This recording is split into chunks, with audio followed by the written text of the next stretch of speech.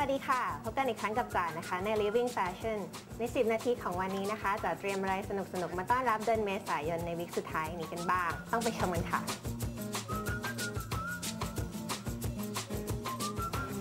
หอมกลิ่นกุหลาบมา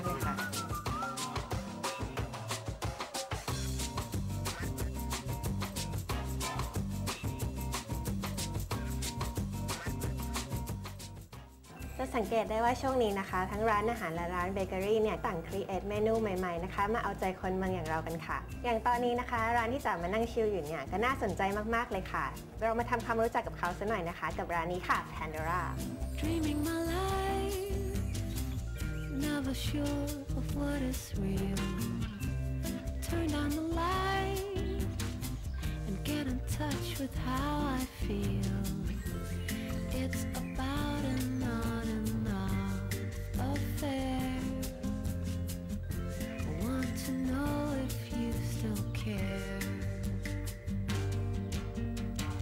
Pandora เป็นร้านคัพเค้ก homemade แนวใหม่ ที่มีสไตล์หลากหลายในตัวเองไม่ซ้ำแบบใคร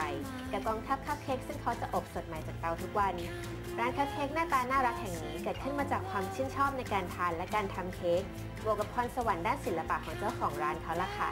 ซึ่งนำมาประยุกต์ใช้ในการแต่งหน้าเค้กทุกรสชาติในร้าน Pandora ให้มีหน้าตาสวยงามสุดครีเอทอย่างที่เห็นกันนี่แหละภายในร้านนะคะ ก็จะมีขนาดกระทัดรัดตกแต่งไว้แบบเรียบง่าย แต่ก็มีมุมเก๋ๆให้เราได้นั่งชิลกับชาสักแก้วโรแมนติกสุดๆค่ะ Let me know just what is true.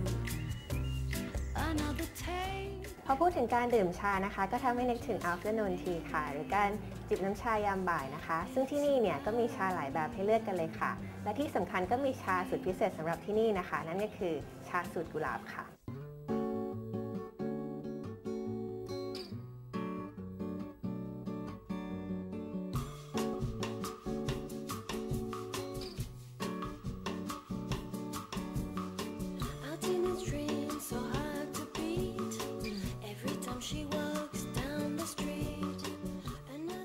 วันว่างแบบนี้นะคะ ถ้าเราได้มานั่งจิบชาคู่กับคัพเค้กอร่อยๆ ของร้านนี้แล้วเนี่ยจะว่าเป็นอะไรที่ perfect สุดๆ เลยค่ะ แล้ววันนี้นะคะจ๋าก็มีโอกาสได้ไปเรียนแต่งหน้าเค้กกับร้าน Pandora ด้วย แต่จะเป็นยังไงนั้นต้องไปชมกันค่ะ I'm gonna call her on the telephone. Have her over cause I'm all alone. I need excitement, oh I need it bad. ค่ะแล้วตอนนี้นะคะจ๋าก็นั่งอยู่กับพี่ปุ๊กกี้นะคะ ซึ่งเป็นหนึ่งในเจ้าของร้านพี่ปุ๊กกี้สวัสดีค่ะ ค่ะพูดถึงคัพเค้กของร้านนี้ก่อนเลย ทุกคนคงจะคิดว่าคัพเค้กนี่ต้องเป็นเค้กแบบแข็งๆ ขอสัมผัสนิดนึง มันนุ่มมาก และสูตรที่ทำนี่ได้มาจากไหนคะอ่าจะเป็นคัพเค้กสไตล์อเมริกันนะคะเสร็จแล้วคือเราหาสูตรมาแล้วก็มา adapt ลองทำเอง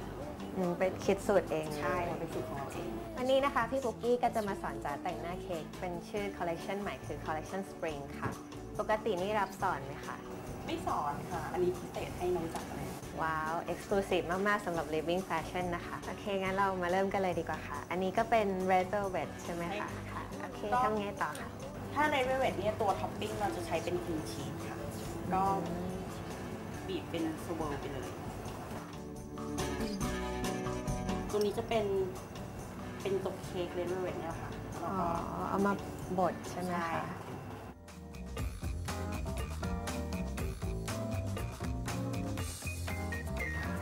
ได้แล้วค่ะ ตื่นเต้น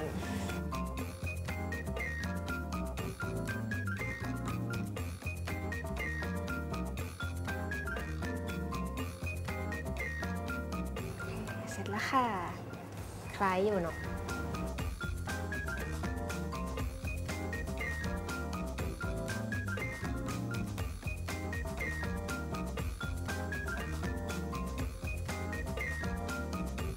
และคัพเค้กหน้าตาน่ารักที่เห็นอยู่นี้นะคะ มีชื่อว่า Sunflower ค่ะ ซึ่ง inspiration มาจากวินเซนต์ v านโกนะคะทันดอร่านะคะก็จะมีแรงบันดาลใจจากเหตุการณ์รอบตัวหรือว่าแฟชั่นแม้แต่ประวัติศาสตร์นะคะ เพื่อมาสร้างสรรค์คอลเลกชันใหม่ๆของคัพเค้ก